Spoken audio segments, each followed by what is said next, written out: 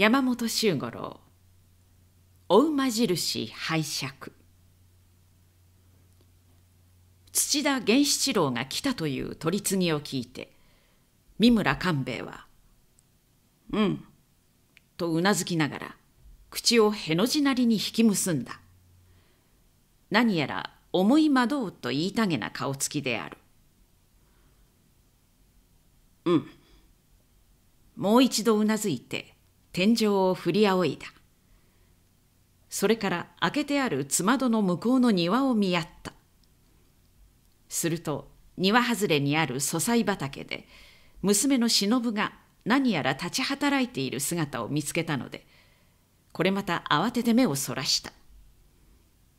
傍らにいた妻のおすげはその様子をいぶかしそうに見守っていたが「いかが遊ばしました？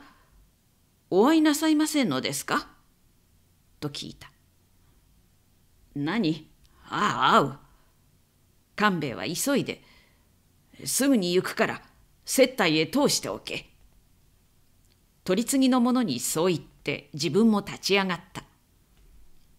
けれどもまだ何か心に決しかねるものがあると見えくったくげにため息をついたり袴のひだを直したりした。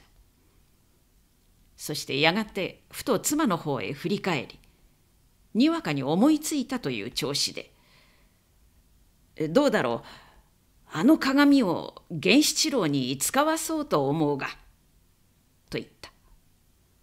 おすげは夫を見上げたがああそのことだったのかと微笑した。私は結構に存じますが忍もいいだろうな。それはもう申すまでもないと存じます。それなら良いというように官兵衛は眉を開きながら初めてそこから出て行った。土田源七郎は下腹巻きのこしらえで円座の上にしんと座っていた。額の秀でた浅黒い顔に意志の強そうな口つきが目を引く。26歳のたくましい筋骨はそれだけでも人を圧倒するように見えるが全体の感じは奥底の深いしんとした風格に包まれていた。口実でございます。源七郎の会釈に答えて「よう参った」と言いながら官兵衛は座についた。そしてそれなり言葉が絶えてしまった。源七郎はじっと襖の方を見守っているし官兵衛は膝の上で両の拳をかわるがわる撫でているしかし心の内では「さあどうした？早くしないとまた檻を逃すぞ。そう言って自分をけしかけているのである。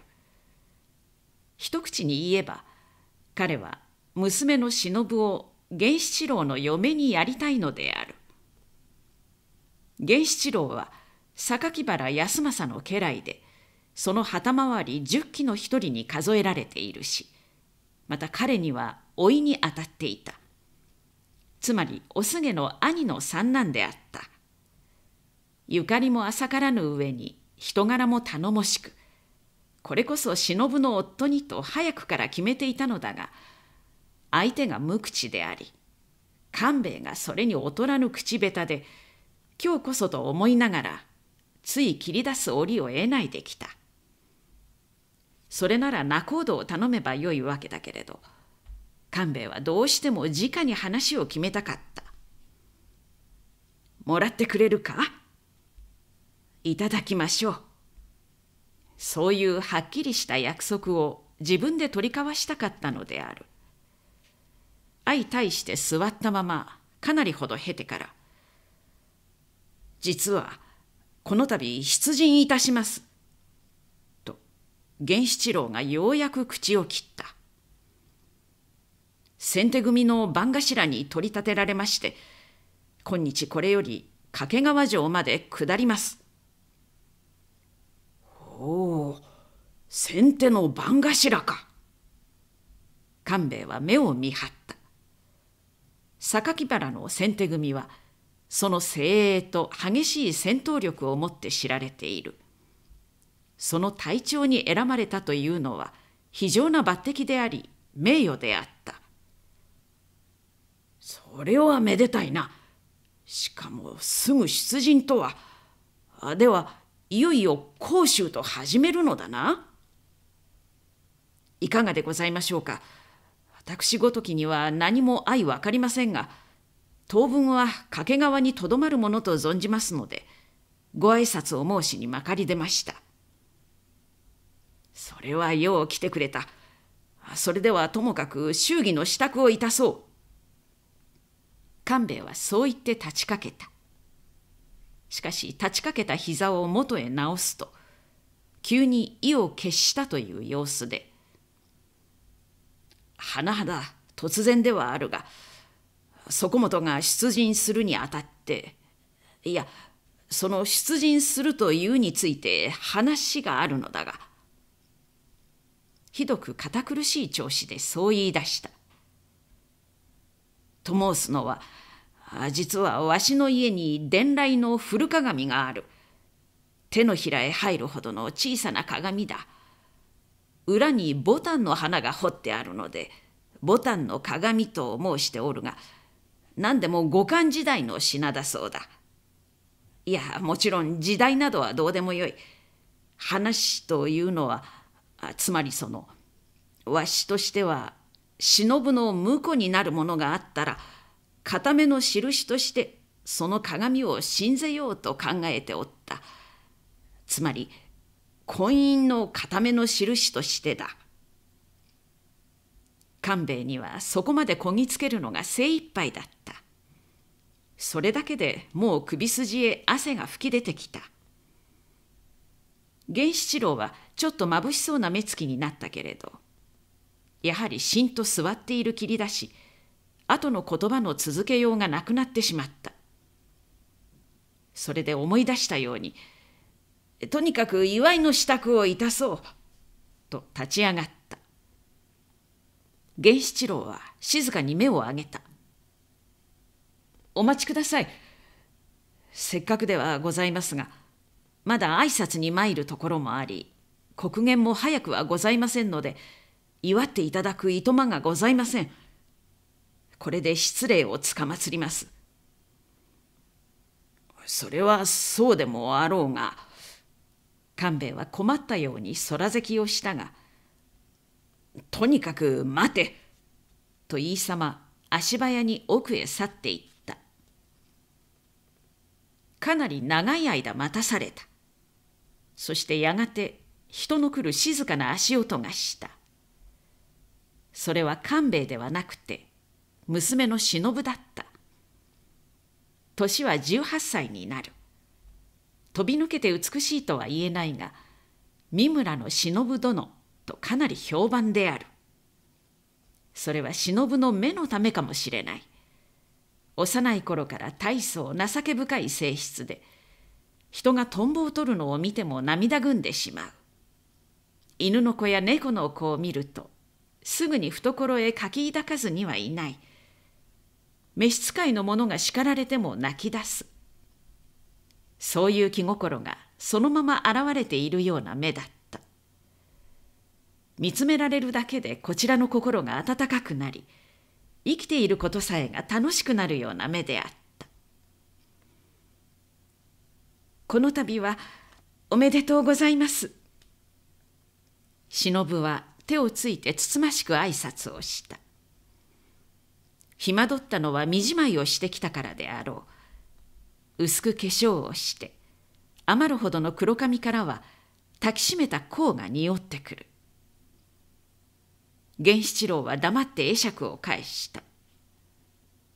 忍は静かに持ってきたふくさ包みを差し出しながら、父からお引き出物にと申します。お恥ずかしい品ではございますが、お納めくださいますよう。そう言って低く頭を下げた。かたじけのうござる。頂戴つかまつる。源七郎は手を伸ばして受け取った。それは間違いなく今主が話した古鏡と思えた彼は目を上げてじっと忍の表を見守りながら「忍殿こなたはこの品が何であるかご存知ですか?」はいそう答えながら忍も目を上げた心にしみ入るようなあの目だった。存じております。ボタンの鏡でございます。そしてにわかに赤くなった。それは不意に花の咲いた感じだった。源七郎はその表を確かめるように見つめやがて眩しそうに瞬きをしながら言った「確かに頂戴いたします」官兵衛夫妻が源七郎を式台まで送って出た。忍は今へ下がって着替えをするとすぐにまた庭の菜園へ降りていった。わずかな時の間に自分がまるで違う人間になったように思える。ボタンの鏡を送ることが何を意味するかは父から聞かされた。かねてそうなるのではないかと考えたり、また自分のような不つつかなものがと諦めたりしていた。それがいよいよ事実になった。自分はやがて土田源七郎の妻になるのだ。そう思うと何とも言いようのない感動で胸がいっぱいになり、空の色も辺りの木々も畑の素材のみずみずしい緑までが今初めて見るもののようにびっくりするほど新鮮に見え出すのだった。すると不意に「忍殿!」という人の呼び声が聞こえた「忍殿こちらです」声は裏木戸の方だった。振り返ってみると木戸を開けてつかつかと一人の若者が入ってくる。甲冑をつけているのでちょっとわからなかったが近づくに従って河津虎之助だということが分かった虎之助も同じ榊原康政の家来で父親同士が親しかったからこの家へもかなりしばしば往来していたいよいよ出陣です。彼は興奮した調子でそう言いながら歩み寄った。海と手切れになったのです。先手組に加わって掛川へ行きますが、何か非常な持ち場へ着くようですから、生還は望めません。今度こそ見事に討ち死にと覚悟を決めています。そこまで聞いて、忍は胸をつかれた。源七郎は何も言わなかった。そんなことは一言も口にしなかった。本当だろうか？我知らず心がよろめいた時、虎之助の咳き込んだ言葉が耳へ突き刺さった。約束してください。万一にも生きて帰ったら、その時は虎之助の妻になると。もちろん生きて帰るつもりはありません。死に物狂いになって戦い、立派に討ち死にと覚悟しています。それだからこそこんなことを言うのです。忍殿、お願いです。出陣の花向けに約束してください。未練ではない。日頃の願いを確かめて行きたいのです。無礼も無作法も知ってのお頼みです。忍殿、どうか承知したと言ってください。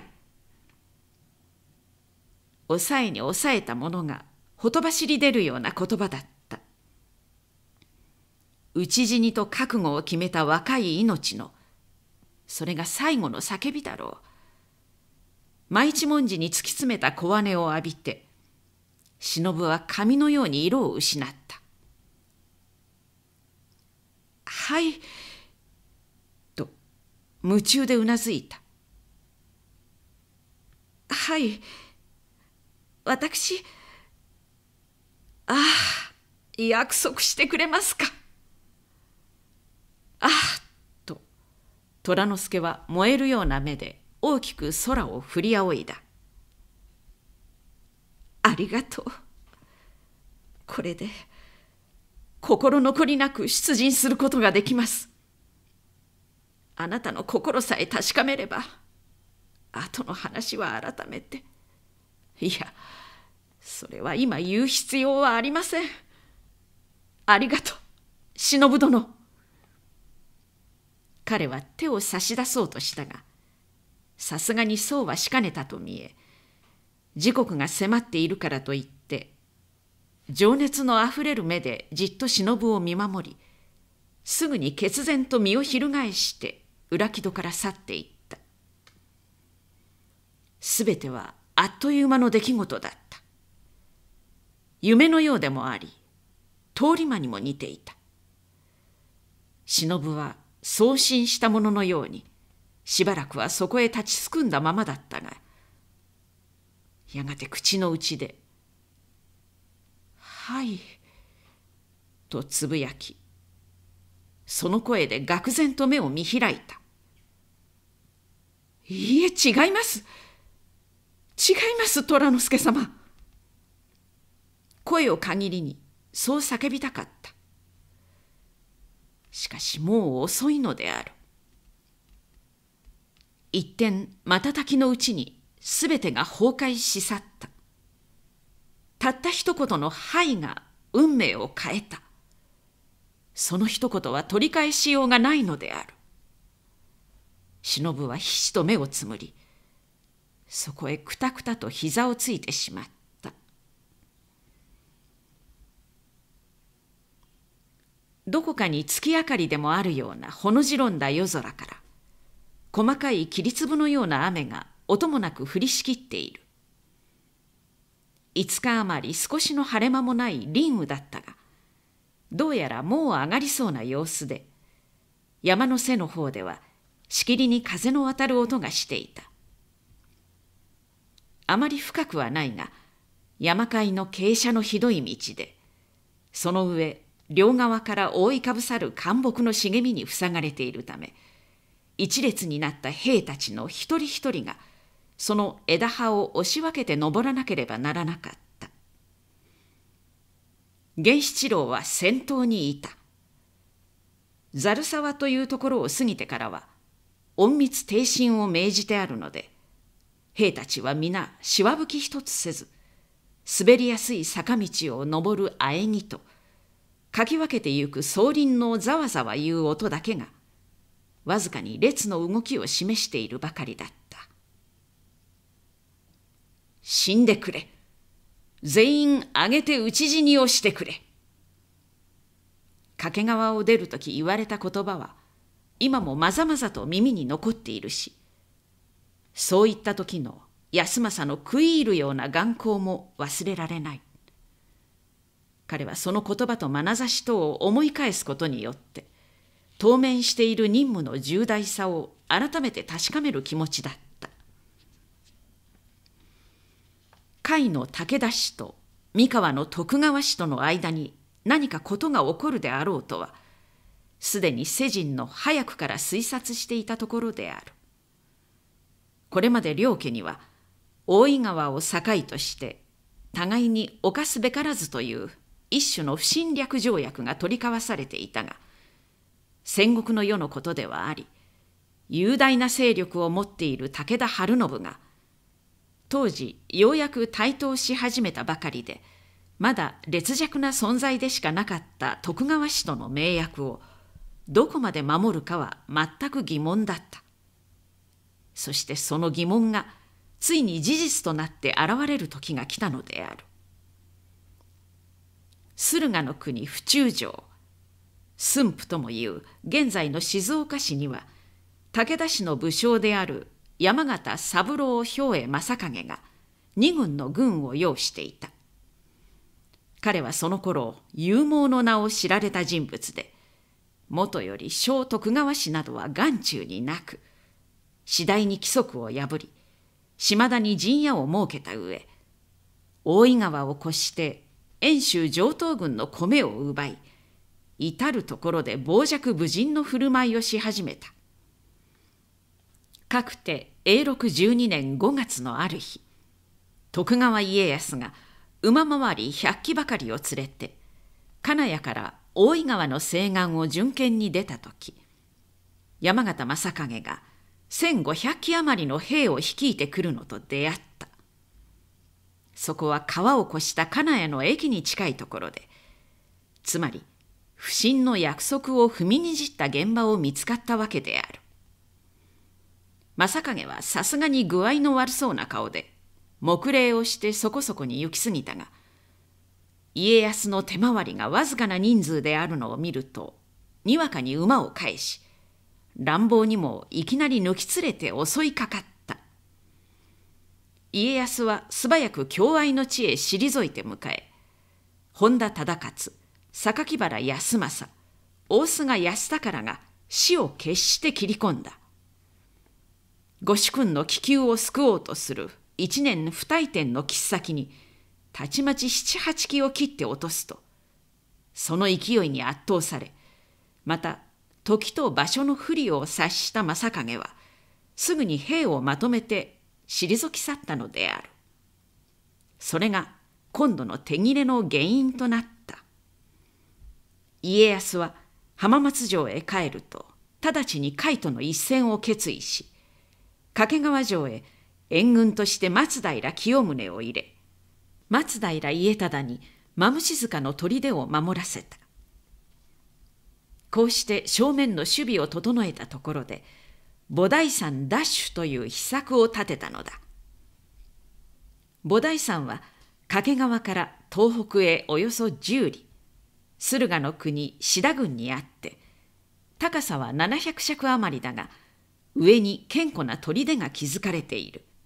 府中城の外類として遠州からの攻め口を睨むなかなか重要な拠点であった。これを攻略して敵の側面へ一石を打とうというのである。選ばれたのは榊原の先手組で土田源七郎を旗頭に150機聖兵すぐって敵類へと挺進してきたのだった。菩提山ダッシュの使命は徳川本軍が駿河へ突入するまで府中の兵力を牽制するにある。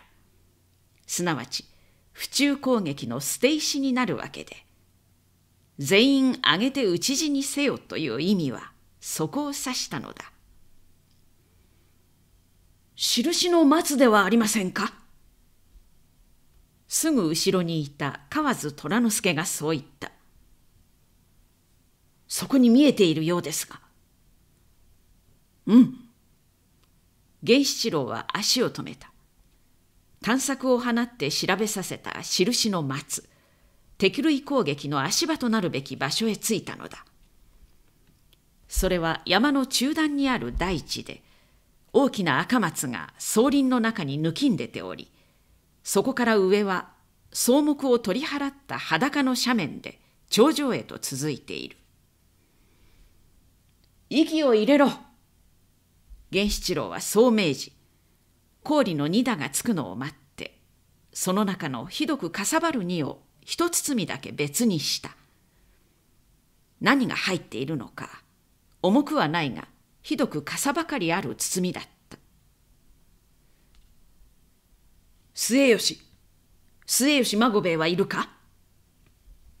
源七郎は低い声で一人の若者を呼び寄せるとこれをその方の組で頂上まで運べ。大切にするんだぞ。そう言ってその包みを孫兵衛に渡した。午前3時を過ぎた。十分に休息した上、軽装になった兵たちは二手に分かれ、砦の西と南から急な斜面を匍匐してじりじりと塁に迫った。いよいよ雨の上がる知らせだろう。遠く東の方に雷鳴が聞こえ、辺りは幕を張ったように霧が巻き始めた。その濃霧の中に、息を殺して這い登ってゆく兵たちの合印の白い片布がちらちらと見えつ隠れつする。頂上の石類はもう目前に迫ったが、そこには何の物音もなく、ひっそりとして人の気配も感じられなかった。源七郎は南側から50人を率いて登ったが、やがて高く右手を上げて打ち振った。先方の切り込む合図だ。5人の銃手が鉄砲を上げて一度に撃った。新刊たる行案をつんざいて火が走り、谷々にこだまして銃声が轟き渡った。そして西側から100人の先鋒が切っ先を揃えて類壁へ踊り込んだのである。不意打ちは見事に功を奏した。まだ府中でさえ徳川軍が動き出したことは知らない。ましてここまで突っ込んでこようとは予想もしていなかったので、先方が切って入るや、砦の中は全く混乱に陥った。そのまま改装し去るかと見えたが、さすがに怪物で、切り込んできた人数が少ないのを見るとやがて立ち直り具足をつけるいとまもなく素肌で飛び出したようなものまでが手に当たる槍刀を取って猛然と反撃に出始めた。そこへ南側に待機していた源七郎の五十機が表も振らず突っ込んだ。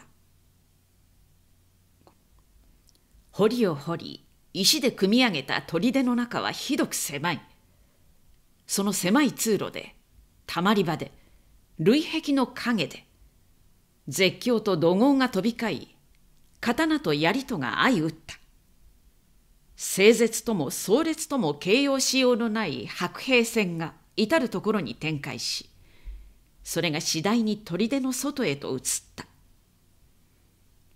勝敗の別れが明らかとなり、類を飛び越え、山腹を転げながら敗走する敵が目に突き出した。源七郎は5人ほどの敵を切り伏せた後、類壁の上に立って戦闘の指揮をしながら、榊原の先手組がいかに強悍な戦隊であるかを、まさしく己の目で見た。一人一人の盛況なことは言うまでもないし、組となれば組全体、隊となれば隊全体が一つの戦機にかっちりと結びつきいかにも自在にその能力を発揮する。中でも特に目を引いたのは河津虎之助だった。彼は求めて強敵に当たりいきなり己の全身を相手の切っ先へぶつける。敵を切る前にまず己を切らせようとするかに見える。その真っ向からぶっつけてゆく大胆不敵さは無類のものでいかなる強敵もほとんどこれを遮ることができぬありさまだった。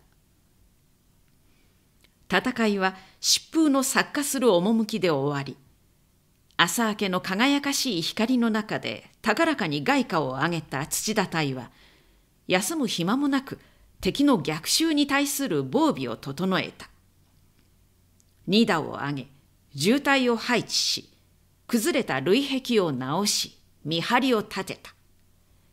そして敵味方の死傷者の始末をしてから人員の転校をした。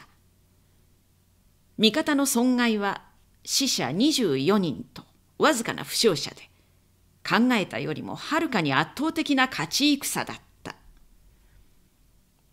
兵糧を使う許しを出したのは午前8時を過ぎた頃である。思い思いの場所に寄り合って弁当を開いた兵たちは、まるで野遊びにでも来た子供のように危機としていた。おい、本当に朝飯前ということはあるものだな。誰かそういうものがあった。いかにも缶に耐えたという小姉だったので、わっと笑い出すものがあり、黙れ、ヤゴとか、そんなことは榊原先手組の通例だ。とかわめき出すものもあって、満々たる活気が揺れ上がるように見えた。手早く兵糧を使った源七郎は一人で催涙を隅々まで見回った武庫三棟両松蔵があり東に面して馬の通う道がついている。空壕は二重でその後ろに石塁を築き上げ西南の隅に物見の防牢がある。その下の石室のような造りが武将の詰め所であろう。そこから狭い通路が兵たちの長屋へ続いていた。水がないな。すっかり見回った彼は眉を潜めながらそうつぶやいたなかなか堅固な砦だこれなら小勢でも十分戦える水の補給さえつけばまず水の湧く場所を見つけなければなるまい。そうつぶやいているところへ河津虎之助がやってきた。汗をお流しなさいませんか。今水亀を見つけ出したのですが。いいな。源七郎はすぐにきびすを返した。しかし、みんなに行き渡るほどあるか？いや、下へ今水場を探しにやりましたから。そう言いながら虎之助は望楼の下へ導いていった。そこには四頭余りも入りそうな水がめが担ぎ出してあり、半蔵の支度もできていた。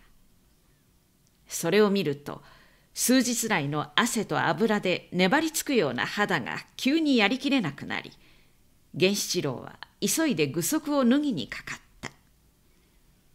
虎之助はそばから手を貸していたが脱ぎ捨てられるものを片寄せているうちにふと小さなふくさ包みを見つけ出し何やらいぶかしそうにじっとそれを見守っていた源七郎は頭からザブザブと水をかぶり始めたこりゃあやりきれないこう熱くてはどうにもならん骨まで腐ってしまうぞ。だるそうな声でそういうものがあった。また始めたぞこいつ。他に何か言うことはないのか。口さえ開けば熱い熱いと知恵のないやつだ。じゃあ貴様熱くないのか？暑いと思えば暑いさ。寒いと思えば寒い。すべてこれ人間妄念のいたすところだ。唐の何とかいう詩人の何とかいう詩だっけ？安全がどうとかして神道を滅却すれば火もまた涼しと天決に言っているくらいだ。安全がどうするんだ？安全はどうでもいい。神道滅却というところが肝心だ。どうでもいいったって安全がどうかするから火も涼しくなるんだろう。いや、安全はどうもしやしない。安全は何もしないんだ。どうして何にもしないんだ。ぶん殴るぞ。周りの者がみんな笑い出すと、向こうから一人が呼びかけた。野暮に構うな。そのくらい無道理なやつはないぞ。この前、犬い攻めの時だったが、そう寄せになって矢玉の中をひた押しに突っ込んでいくと、やごめ俺の前へのそのそと背中を持ってきた。なんだと聞くと、背中をのみが食っているからちょっと手を入れて書いてくれと言うんだ。何？のみだって？という声につれてみんなが失笑した。何しろ矢玉のビュービュー飛んでくる真ん中だからな。さすがの俺も開いた口が塞がらなかったよ。それで貴様どうした？俺か？俺はその、どうしたって？そりゃ榊原の先手組だ。頼まれて嫌とは言えないじゃないか。つまり背中へ手を入れて書いてやったってわけか。言ってみればまあそういう結果になるが。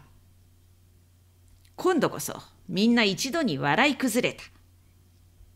ヤゴと呼ばれる男は少しも動じない顔つきで、お前は無道理だなんぞと言うがな。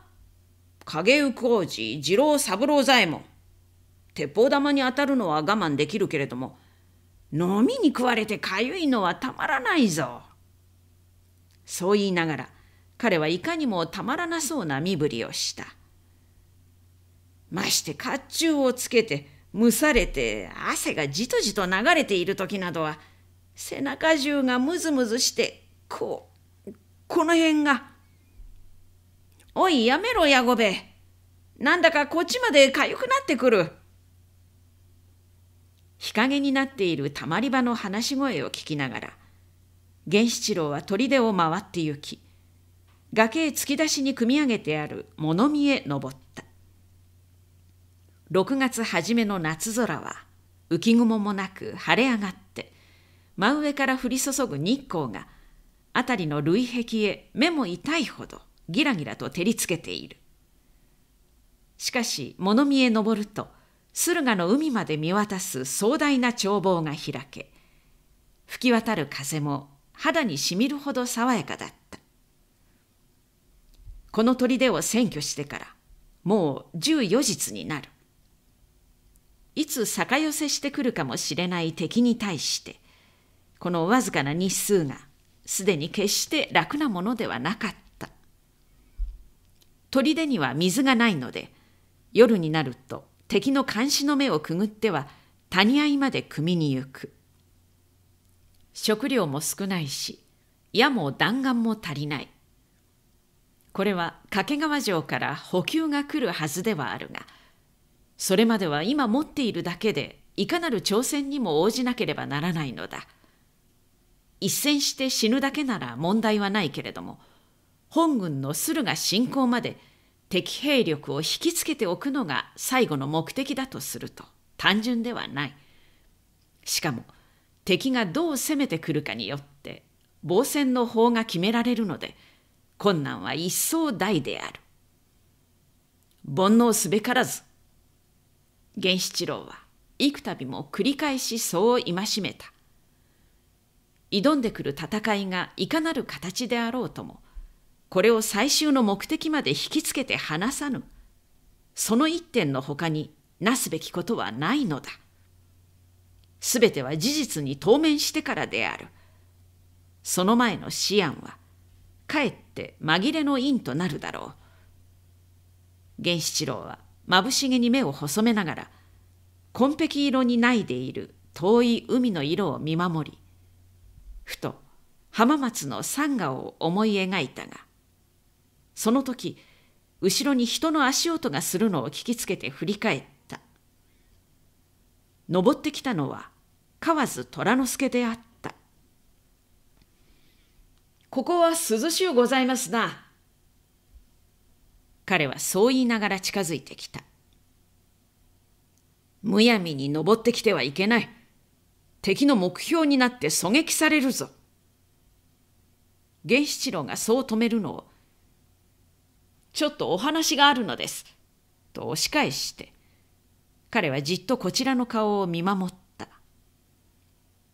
同じ榊原の家臣ではあるが、先手組へ来るまで源七郎は彼のことをよく知らなかった。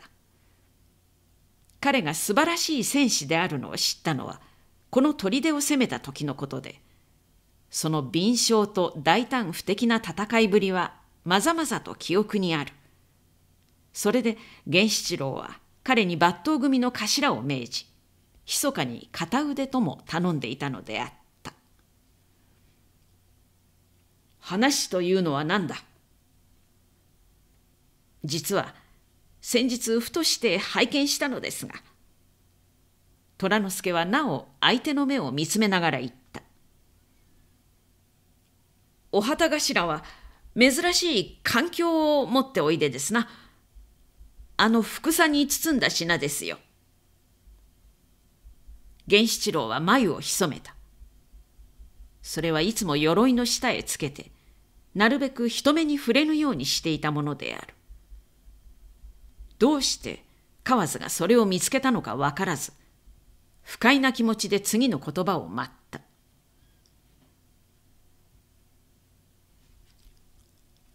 あの鏡の裏には確かボタンが彫ってあると思いますが違いますか？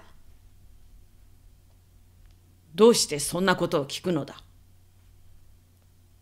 ボタンの鏡なら拙者もあるところで見たことがあるのです。ちょっと司祭のある品でした。五感時代のものだというその値打ちは別としてそう言いながら彼はしつこく源七郎の目を見つめて話さなかったその司祭というのはこうなんですその鏡の持ち主には美しい娘があって鏡はその人の嫁入り道具に持たせてやるつまり婿引きでというような意味でしょう。拙者が拝見した時その持ち主はそう言っていました。ところがあなたがその鏡を持っておいでになる。とするとつまりつまりそれはと源七郎が遮った。どっちにしてもそこもとには関係のない話だ。そうお思いですか？虎之助は唇をぎゅっと片方へ歪めた。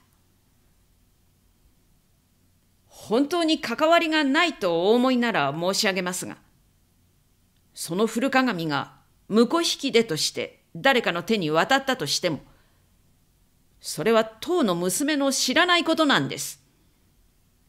というのは、すでに娘は他に言い交わしたものがあるのですから。いつも静かな源七郎の顔つきがその時くっと引き締まった虎之助はとどめを刺すような調子で「そうです」と続けたその娘には行く末を訳したものがあるたとえ親がどう決めようとも娘の心は他にあるんですはっきり申し上げますがそれはこの河津虎之助ですよ。そう言い切った途端である。源七郎が物も言わずに突然彼をもろ手で突き飛ばした。虎之助は仰のけにだっと倒れ、何をなさる？と叫んで羽を切ようとした。そこへ源七郎が折り重なるように身を伏せて押さえつけ、動くなと叫んだ。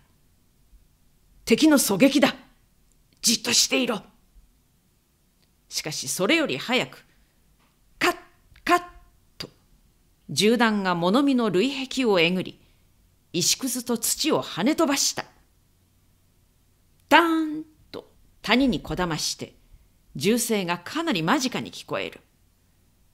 虎之助はコクッと息を飲んだ。しばらく被弾の隙を見ていたが、やがて源七郎は、早く、この間に類へ入れと虎之助を押し合った。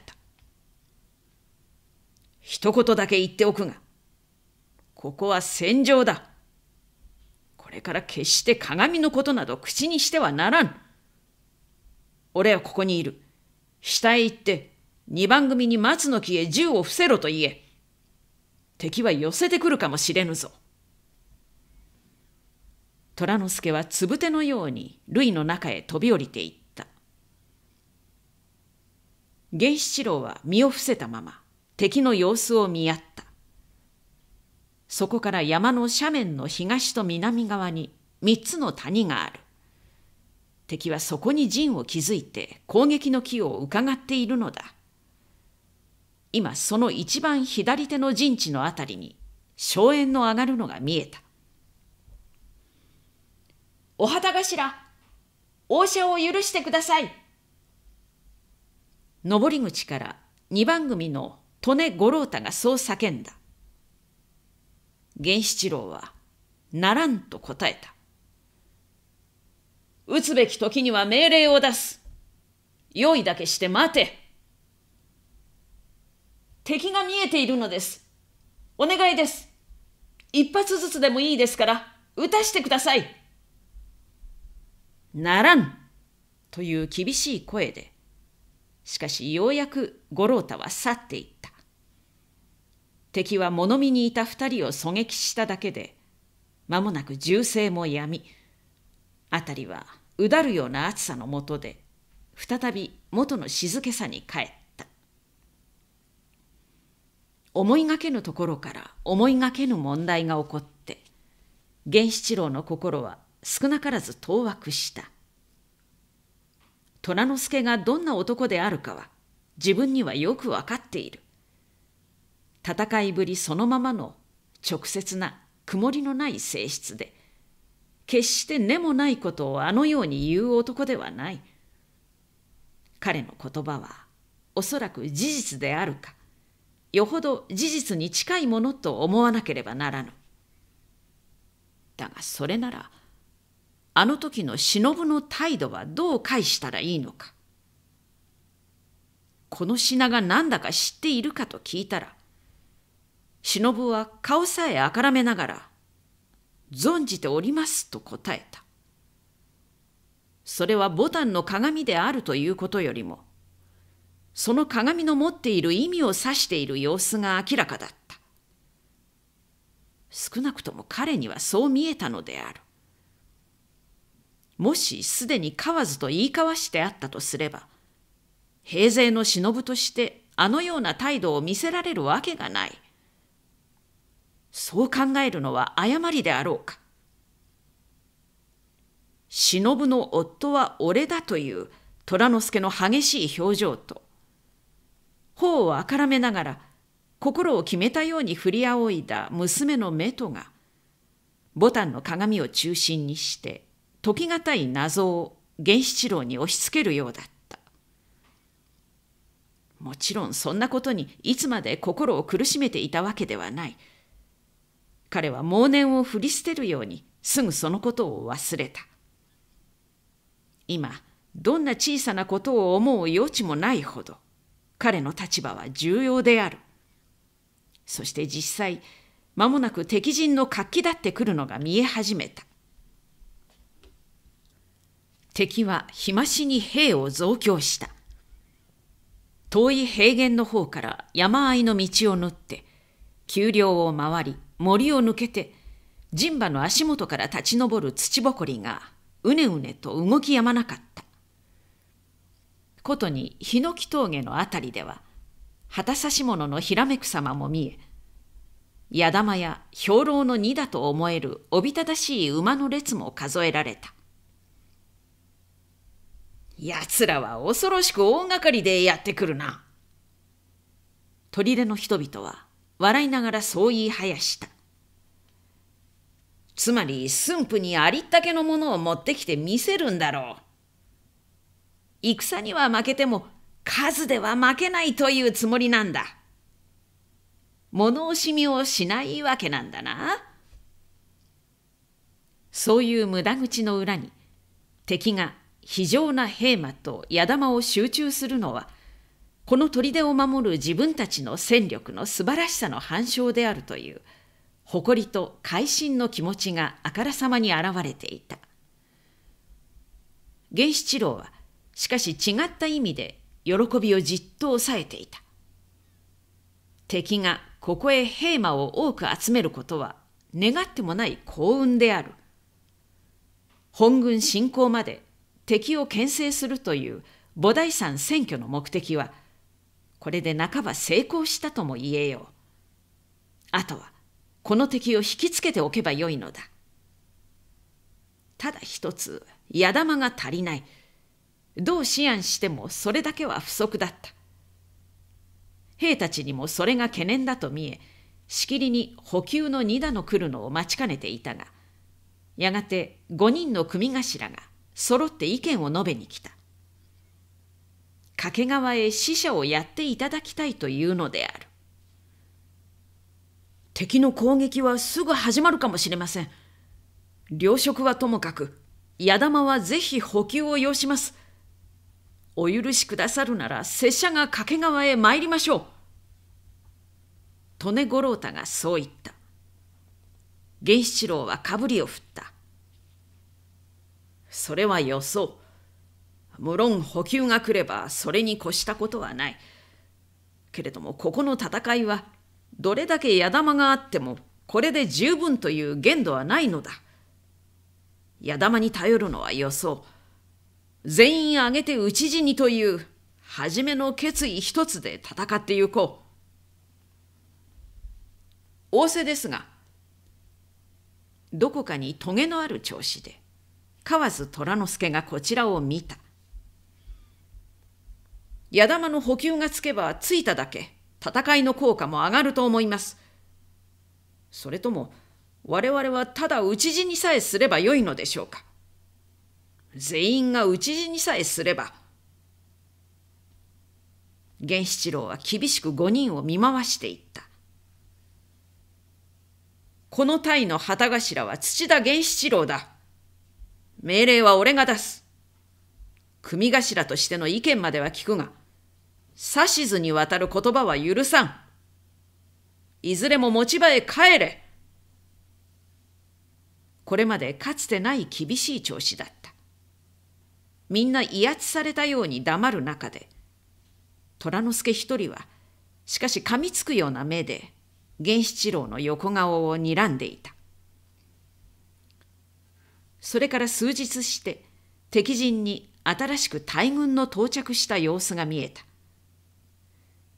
ちょうどその夜半に菩提山の砦へも待ちに待った掛川から補給の氷がついた。彼らは5日前に大井川を渡ったのだが、敵の監視の網をくぐるのに時を費やし、菩提山の北側の剣路をよじてようやくたどり着いたのであった。考えたよりも余分の矢玉と食料に添えて酒が来た。けれどもそれより意外だったのは浜松にある家族からの恩信が託されてあったことだ。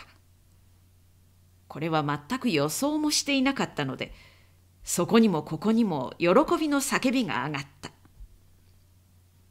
源七郎には掛川にいる榊原康政からの密書とそして浜松の三村官兵衛からの手紙が渡された。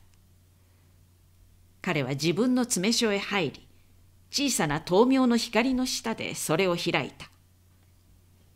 安政の書面は決戦の木を知らせるもので、御旗本本軍は6月17日午後、大井川を渡って進行する。菩提山の諸子は当日万難を排して敵兵力を日没まで牽制せよ。そういう意味のことが簡単な力強い文章で記してあった。源七郎は読み終わるとともにふと微笑し、灯明の火を移してそれを焼き捨てた。それから三村官兵衛の手紙を取って封を切ったが、中から出てきたのは忍の文であった。気づいてみると風の首席も忍のものである源七郎は何事かと思い灯明を引き寄せて読み始めた「取り急ぎ申し上げ参らせそろ」文はそういう書き出しで出陣の日の出来事が正直に書いてあった。心ならずも虎之助に「はい」と答えた前後のところは文字も乱れているようでいかにも切ない気持ちが現れていた。一筋に思い詰めたるご様子なり必死を覚悟のご出陣と申しいかにも嫌とは申し上げられず夢うつつのごとく「はい」とお答え申し候うことにござそろあなた様へはお詫びのいたしようもなき不始末忍の身にも取り返しがたき。そこまで読んできた源七郎は、後の文字を見るに耐えなくなって、卒然と文を置いた。彼は片手で額を押さえ、低くうめきながら目をつむった。初めて謎が解けた。忍は自分と未来を言い交わしてある。そういった虎之助の言葉が今こそよくわかる。たとえそれが虎之助の一人合点だったとしてもその言葉に嘘はなかった。うん。源七郎はもう一度うめいたがそれから静かに立って塁を出て行き望楼へと登っていった。深夜の望楼で彼は一人何を考えたのであろうか。それは忍がいじらしいというただ一つの思いだった。その時「はい」と答えた忍の心理が源七郎には痛いほど鮮やかに推察できる。他の者なら「いいえ」と言えたであろう。事情は話せないまでも鬼人の上でというくらいは口にしたはずだ。忍にはできなかった。悲しいほど哀れみの情の深い哀れなほども温かい優しい忍にはそれができなかったのである。忍源七郎は美しく星のきらめく空を振り仰ぎ静かに口の内でつぶやいた。よく「はい」と言った。それがお前には一番似合っている。不始末ではない。それでよかったんだ。虎之助の申し込みも一筋で美しい。これでいい。何も悲しむことはないじゃないか。俺は喜んであれに鏡を譲るよ。半時ほどして望楼から降りた源七郎はすっかり落ち着いていた。彼はすぐ三村官兵衛に宛てて手紙を書いた。それからボタンの鏡を固く包みにして、一緒に二駅の裁量に託した。彼らが山を降りていったのは夜明け前のことだった。この間に兵たちは矢玉の荷を解き、糧食を蔵へ運び入れていた。みんな生き生きと元気になり、突き上げてくる闘志を抑えかねるもののように。何やらわめいては叱られるがすぐにまた好きなことを怒鳴ったり叫んだりしていた。6月16日の夕刻源七郎は河津虎之助を呼んで一通の書状を渡しこれをもって掛川城へ行けと命じた。日が暮れたらすぐ山を降りろ。この書状をいかなることがあっても、ご主君へお手渡し申すのだ。拙者が参るのですか？虎之助は青くなり、静かに神戸を振った。失礼ですが、他の者にお命じください。拙者はここにとどまります。この時にあたって戦場を去ることはできません。旗頭の命令だ。位牌は許さん。鏡の返礼ですか虎之助は唇を引きゆがめた。我々先手組はこの砦を守って決戦する。全員残らず討ち死にだとあなたはおっしゃった。その決戦の時を目前にして拙者を覗こうとなさる。ボタンの鏡がそれほど声を震わせてそこまで言いかけたが源七郎は大股に一歩進み出ると手を挙げて虎之助の高方を激しく打った。二つ三つそしてよろめく相手の上へのしかかるように「黙れ!」と叫んだ。ここは戦場だ。我々は武士だ。女のことなどでうろたえるような未練者は一人もおらぬ。死ぬも奉公、生きるも奉公。いずれに勝り劣りがあるか。旗頭として、その方ならではと思うから命ずる。河津虎之助掛川城の御主君まで死者を申しつけるぞ。出発は日没と同時だ。わかったか決めつけるように言うと、源七郎はきびすを巡らして自分の詰所へ去った。虎之助はその日の暮れ方に山を降りていった。谷へ入るところで敵に見つけられ、しばらく銃撃された様子だったが、確かに駆け抜けてゆくのを見たものがあった。足を撃たれたと見えて足を引いていた。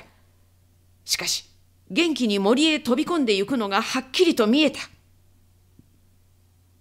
その森は谷の外れから生見川の流れまで地を覆っている。そこへ入ればあとは大丈夫だろう。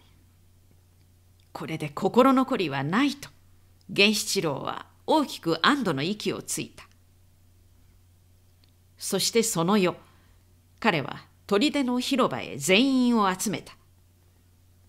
全く風のない静かな夜で、虫の音が湧くように湿った焼きを震わせていた。源七郎は兵の一人一人を見回しながら、明日こそ決戦の時であると告げた。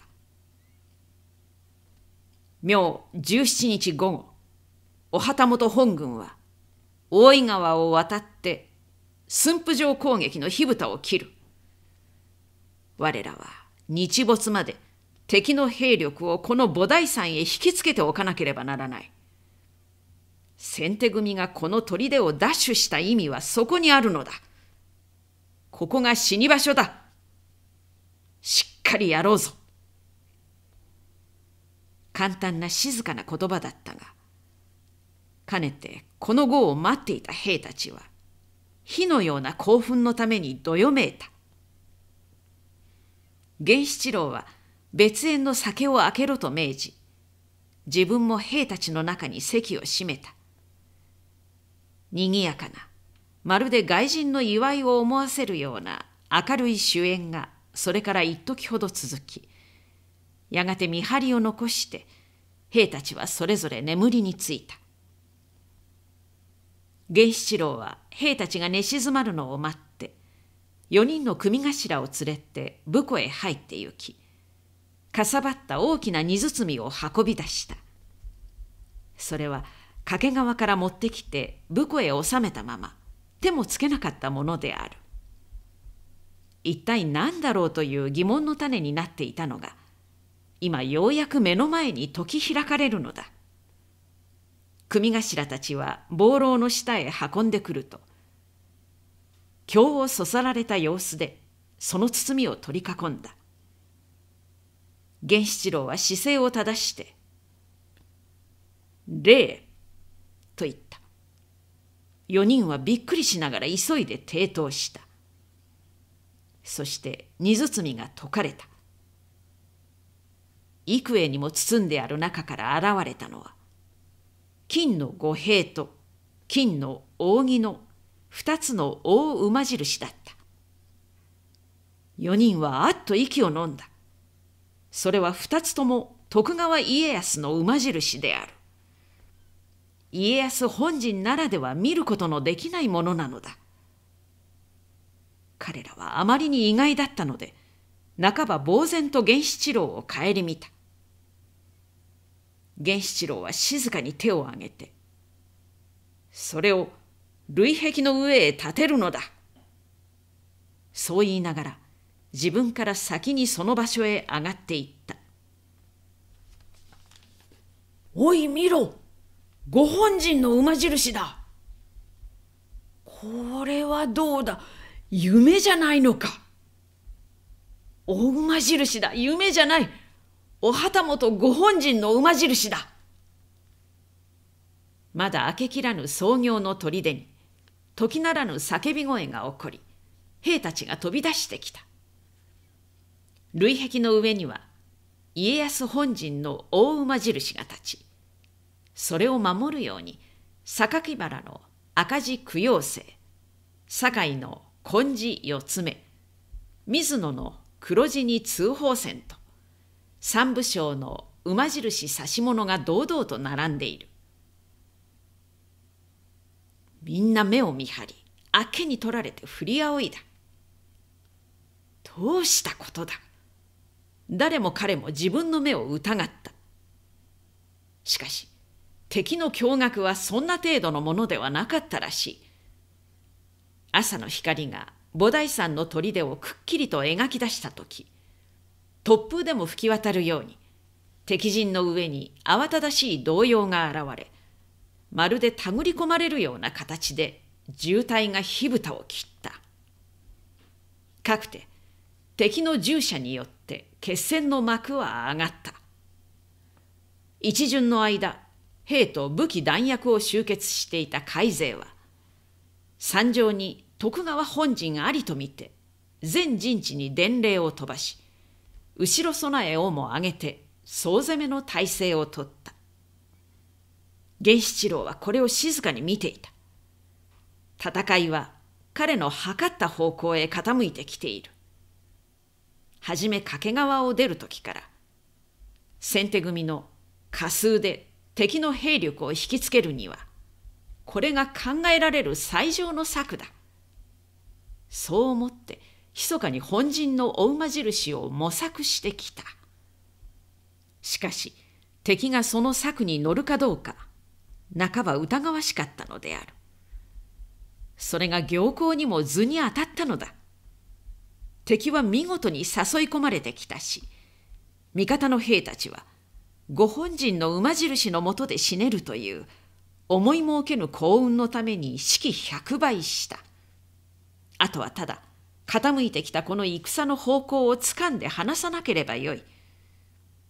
味方の一人一人が、最後の一人が討ち死にするまで、がっちりと敵を引きつけて戦うのだ。落ち着いて行こう。日没まで時刻はたっぷりある。源七郎はそうつぶやきながら、望楼へ上がっていった。従者に始まった敵の攻撃は時の移るに従って徐々と接近戦になり午前10時ごろには一度敵のやり隊が類下の堀まで突っ込んできた。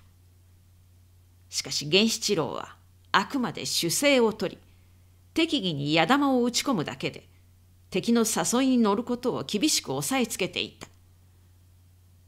探りと誘いを兼ねた襲撃が幾度か行われ陣構えも次第に近接してきた。焼けつくような日光がギラギラと照りつける下で、荘園が舞い立ち、銃声と時の声が谷合にこだました。前進してきた敵は砦を東南から囲み、半円を随時に縮めながら、激しい従者と突撃等を矢継ぎ早に繰り返した。戦機はようやく熟しつつある。今だ。源七郎は抑えに抑えていた第一夜を放った。三番組の抜刀隊を切り込ませたのである。それは馬の国をかなり過ぎた頃だった。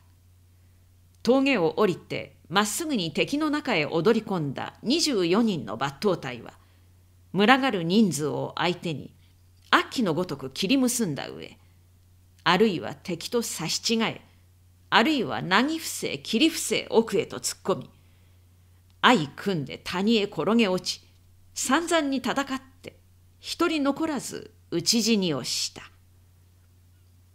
およそ半時余り続いたこの死闘が終わると敵の攻撃は再び砦へと集中した。今度は新手も加わって左右から銃を追いかけつつひしひしと攻め上ってくる。源七郎は右翼から槍組を突っ込ませた。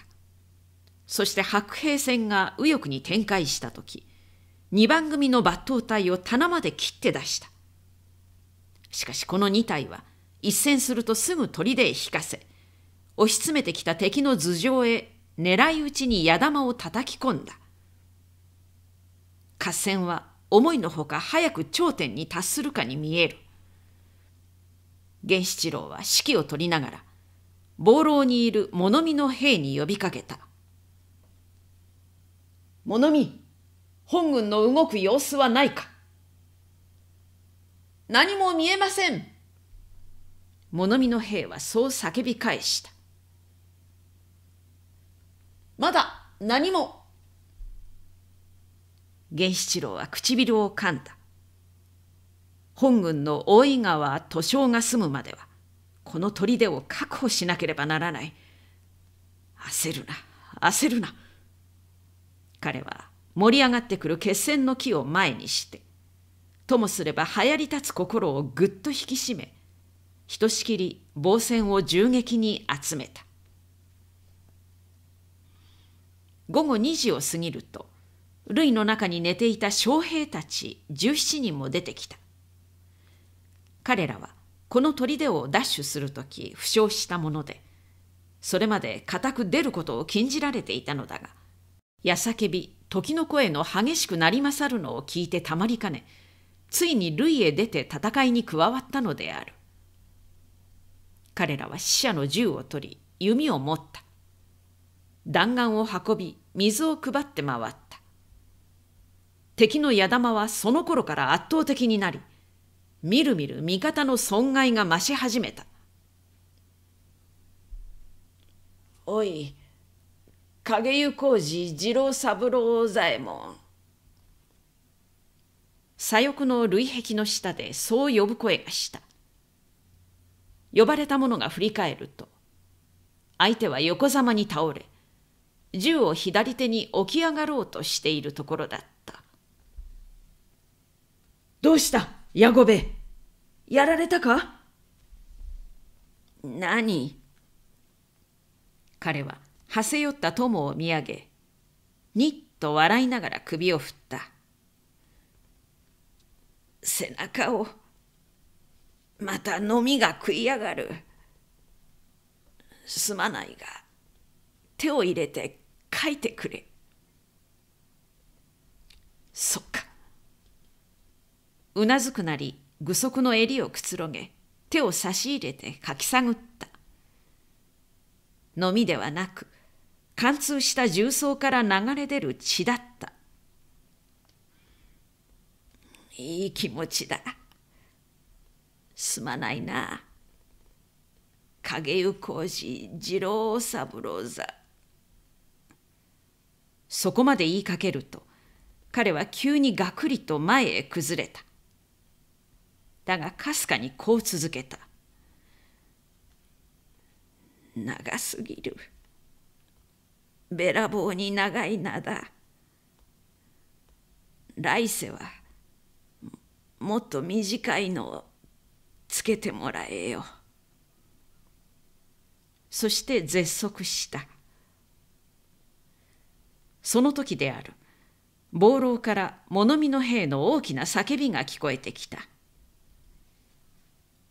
お旗頭、土ぼこりが見えます。何？どうした？源七郎は中央へ飛び出した。金谷の上流に土ぼこりが大きく動いています。本軍が進撃を始めました。その叫びは狭い塁の中いっぱいに響き渡り、兵たちは喉も裂けよと看護の声を上げた。物見からは刻々に本軍の動きを知らせる叫びが聞こえた。大井川に行き着いた土煙は、先方が塗装したと見えて、川を二つに分けて帯のように空へたなびき上がり、そのまま東へ東へとひた押しに移動してゆく。明らかに東岸の敵陣を突破した様子だった。この知らせの一つ一つが砦の兵を狂気させた。とうとうここまでこぎつけた。源七郎は神にも謝したい気持ちでそう思い、一層熾烈になった敵団の中へ大股に出て行った。みんな聞けお旗本本軍は大井川を越して今駿府へとまっしぐらに進んでいる。我々はお役に立った。ここが銭湯だ。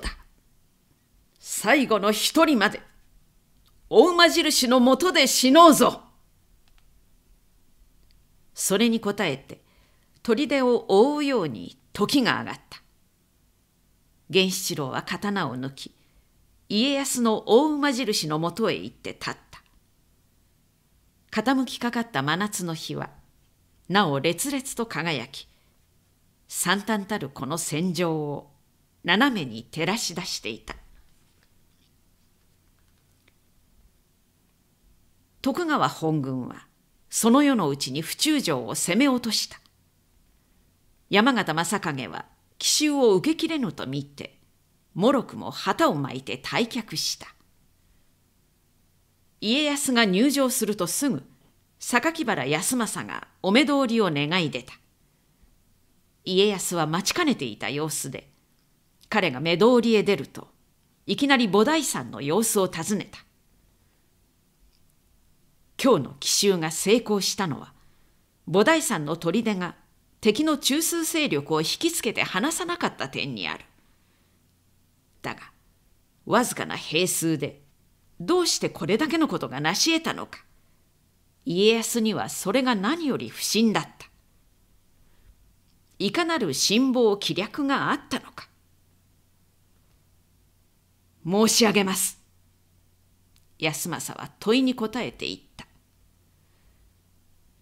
まことに申し訳もなき次第ではございますが、かの砦には本陣のお馬印を立てたのでございます。本陣の？俺の馬印か。家康は目を見張った。お旗本本軍が山上に詰めたと見せるためにもったいのうはござれども、お馬印を拝借つかまつりますと、前夜一人の死者をもって願い出ました。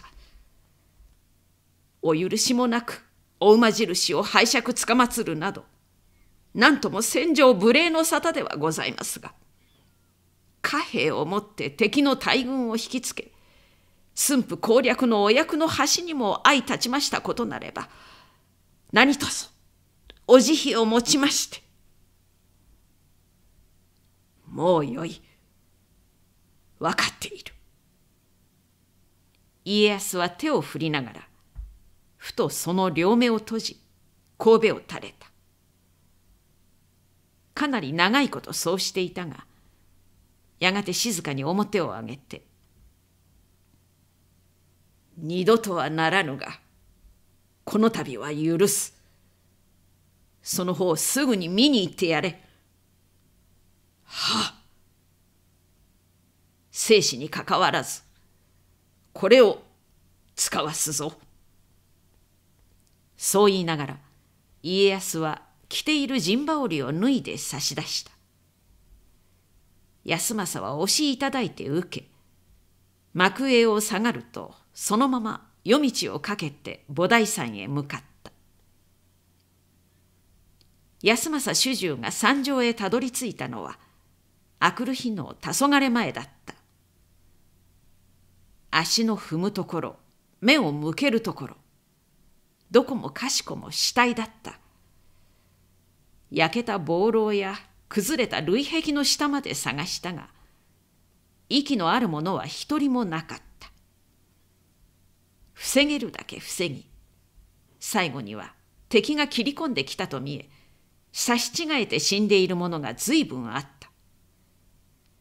中には負傷して身動きができなかったのだろう。自ら塗服した者も10人余りいた。土田源七郎の死体は、お馬印の下に見つかった。そこで最も激しい戦いがあったらしく、折り重なっている20人余りの屍は、兜が飛び、鎧はズタズタにちぎれ持っている刀もあるいは折れあるいはノコギリのように刃こぼれがしていた。あまりの凄まじさに安政も従者たちも声が出なかった。しかし無残とか哀れとかいう感じはいささかもない。ただ神々しいまでに壮烈だった。神々しいというより他に形容のしようのない壮烈なありさまだった。源七郎の亡骸を起こしてやれ。安政がそう命じた。従者の二人が左右から源七郎の死体を抱き起こした。安政は下死されてきた陣羽織を取って静かに進み寄り生きている者に言うように感動を抑えた低い声で言った「あっぱれよく戦ったな土田源七郎。お馬印のことはお許しが下ったぞ。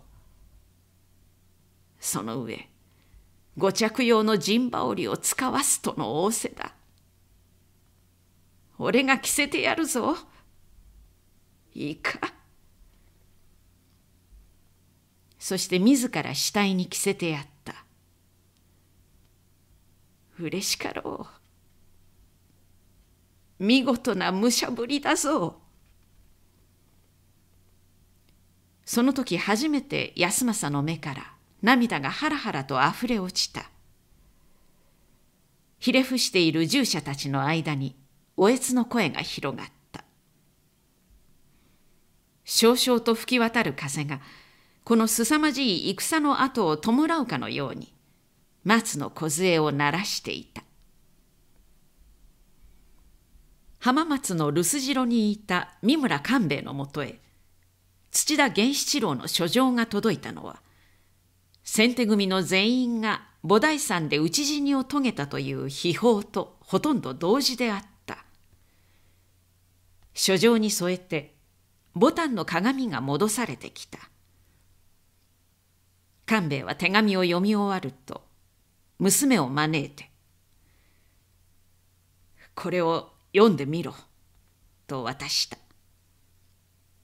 忍にはそれが誰の書状であるかすぐに分かりちょっと顔を青くしながらしかし落ち着いた態度で開いた心急ぎ候まま、一切尽くし申さずそろ。この度出陣の見切り、ご秘蔵の古鏡、ご敬与に預かり候こと、身に余る家宝と存じそろ。去りながら、拙者にはお受け申すことを相なりがたく、ぶしつけの儀、いかにも申し訳これなくそうらえども、ぜひぜひ河津虎之助にこそ古鏡お譲りくだされたく存じそろ。虎之助のことは無双のもののふにて拙者には片腕とも弟とも頼むものにござそろ。忍殿にもよくよくこの儀お伝えの上やがて過食の恩祝いもあらば定説なる妻として末永くお仕えなさるべく万福の栄えをこそお祈り申し上げそろ。源七郎という署名の力強い文字を見ながら、忍は溢れてくる涙を抑えることができなかった。源七郎の広く温かい心が悲しいほど直に胸を打つ。自分が迂闊だったために犯した取り返しようのない過ちをかばって虎之助に鏡を譲ってくれと自ら父に頼んでくれた。定切な妻になれという一言はおそらく忍に呼びかけているのであろう。よくわかりました源七郎様。忍はそっと心の内で答えた。私河津の内へ嫁ぎますそして虎之助殿の定切な妻になります。それがあなた様へのお詫びの印にもなると信じますから。官兵衛は娘の様子を痛ましげに見守っていたが、やがて静かにいたわるように言った。河津は怪我をして掛川にいるそうだ。間もなく浜松へ帰ってまいるだろう。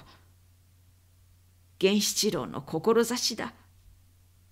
もし帰ってきたら、お前からこの鏡を送るがよい。